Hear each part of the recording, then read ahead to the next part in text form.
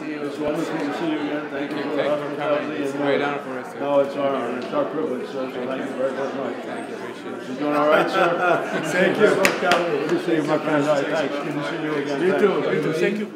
Welcome to Bergen Generals, officers. Very, very much honored to have here first time in this the president.